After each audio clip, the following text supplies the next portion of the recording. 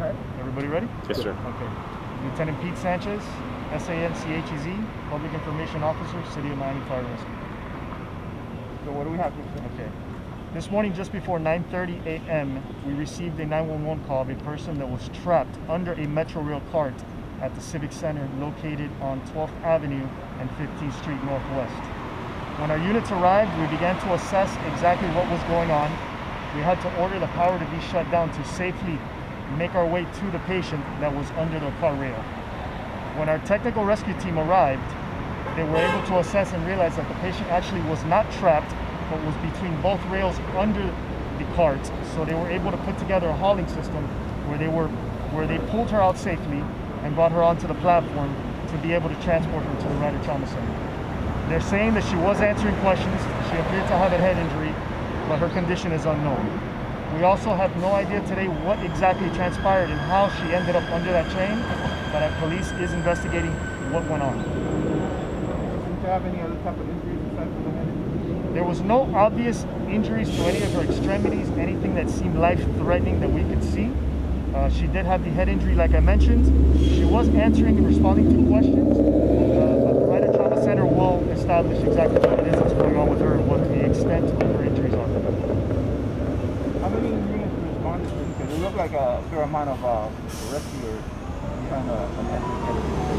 Initially, we had over 10 units that responded because our hazardous materials team and our technical te- uh, technical rescue team um, responded to be able to see. Uh, our technical rescue team responded because of the potential entrapment, and they have these special tools to be able to remove a victim if they're trapped. And like they did, they still were able to remove her even though she wasn't trapped, using the hauling systems and a sked system, which they slide under her body to be able to pull her out safely. The actual the actual removal of the patient was rather quick. They was swift. They were able to get in and out. Uh, we had to wait about uh, about 10 minutes to be able to get make sure that the power was off because the last thing we want is for that train to activate while we have rescuers inside, potentially harming our rescuers or harming the patient further. That's all I got. There you go. Perfect. You need Spanish, right? Yeah. Ready, sir? Yeah. Tell us in Spanish what happened today, sir. Teniente Pete Sánchez, vocero de los bomberos de Miami. Eh, esta mañana, sobre las 9 y media de la mañana, recibimos una llamada de emergencia al 911 que había una persona entrapada abajo de un carril del Metro Rail.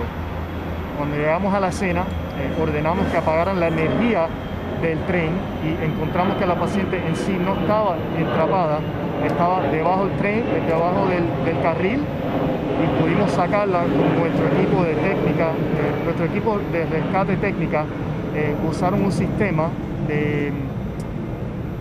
usaron un sistema para poder sacarla, eh, la sacaron, la subieron para la plataforma y entonces empezaron a cesar eh, a la paciente. La paciente tenía unos, eh, se hizo daño en la cabeza, y, pero estaba respondiendo preguntas en este momento y la llevaron al Jackson Ryder Trauma Center. No sabemos qué sucedió y qué causó para la persona que se cayera eh, bajo del tren y la policía está investigando qué es lo que sucedió hoy. Perfect. Anything else, sir? No, that's it. Perfect.